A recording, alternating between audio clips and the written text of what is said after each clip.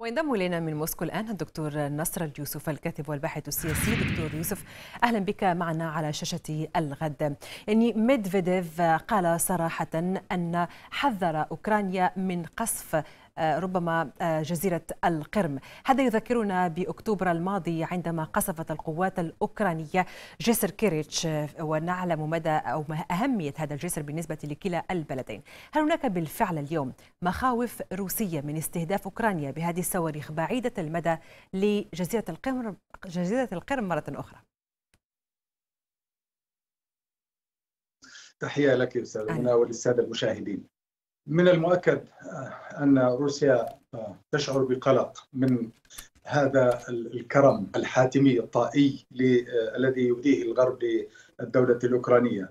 فقد بات معروفا أن الغرب فتح أبواب مخازنه مخازن الأسلحة على مصراعيها. وكان إلى وقت قريب يرفض تسليم الدبابات ولكنه نعم. قبل قبل عشرة أيام تقريبا يرفض تسليم أسلحة صواريخ بعيدة المدى. إذ كانت هايمرز تقتصر على 75 80 كيلومتر والآن 150 كيلومتر. وهذا يعني أن أنه سيكون باستطاعة الأوكرانيين أن يستهدفوا جزيرة القرم وهذا ما قاله بايدن بكل صراحة. وأنا على ثقة.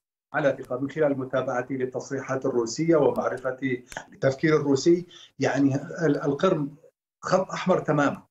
يعني إذا استهدف وكما ذكرت حضرتك جسر القرم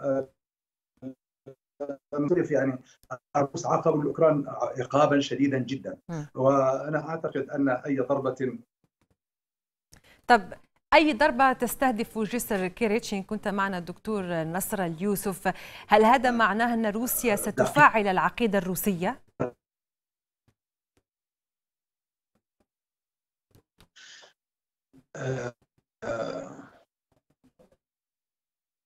نسمعك بصعوبة دكتور يوسف.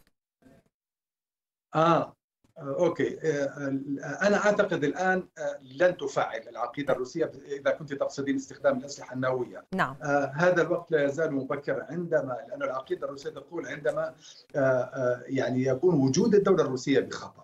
فأنا أعتقد انه استهداف موقع أو موقعين في جزيرة القرم لا يشكل خطرا حيويا على الدولة الروسية. ولكن ستعاقب وستضرب بيد من حديد. وقد رأينا